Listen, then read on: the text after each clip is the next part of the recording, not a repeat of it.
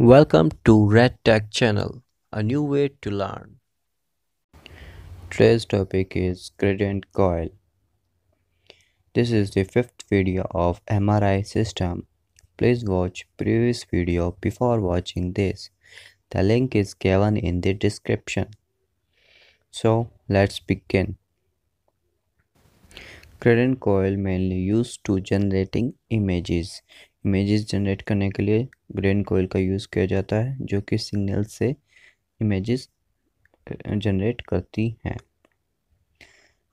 ये three orientation में होती हैं एक्स वाई और Z you can see here the diagram of the lying of the patient Z axis is the axial one Y axis and X axis and their different different role in M R I image of getting so first one is Helmholtz coil ये axial direction में होती है और ये use की जाती है gradient along Z axis में।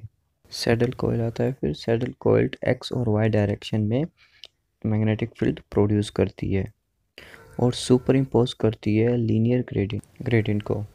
फिर आता है use of gradient X direction होता है स्लाइस थिकनेस के लिए। Y for phase encoding Z for frequency encoding और इसकी स्ट्रेंथ मैग्नेटिक स्ट्रेंथ काफ़ी लो होते हैं थर्टी मिली टेस्ला देन ये क्वेश्चन पुट आउट हो सकता है कि how gradient coil are produced gradient coil जो सेम मेन मैग्नेटिक मैग्नेट होती है, उसी के प्रिंसिपल पे बनी होती है।